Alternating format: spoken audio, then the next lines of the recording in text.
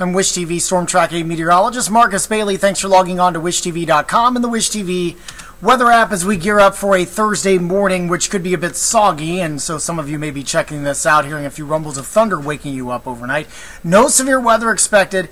You can see Futurecast showing about 4, 5, 6 o'clock, a pretty decent line of showers and storms start to evolve and this could make for a very wet drive as we head into our Thursday morning. Numbers will hover around 70 degrees to kick things off in the morning. Do watch out for those heavy rainmakers, so I'm going to give you the yellow light for the morning drive. Futurecast then kicking a lot of this rain out of here by just around lunchtime, certainly in the metro area and points north.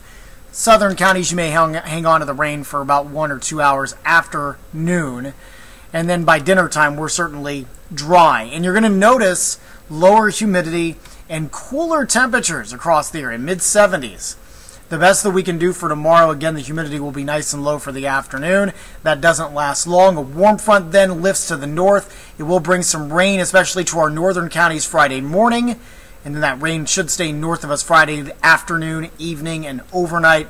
And the temperatures take a jump. We'll be in the mid 60s by noon and 80 degrees by 4 o'clock. The 80s hang around for the weekend. 83 on Saturday, isolated rain on Sunday, 81, mid 80s Monday, Tuesday, and back to the low 80s on Wednesdays. So a very long, warm pattern as we head through the next seven to eight days.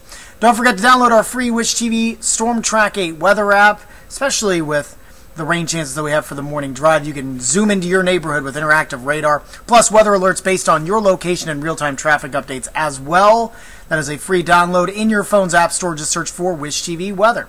Brad Maushart and Randy Ellis have you covered on the TV side for daybreak starting at 4 a.m. and updates 24 hours a day on our website, wishtv.com. Have a great overnight. We'll talk to you again on Thursday.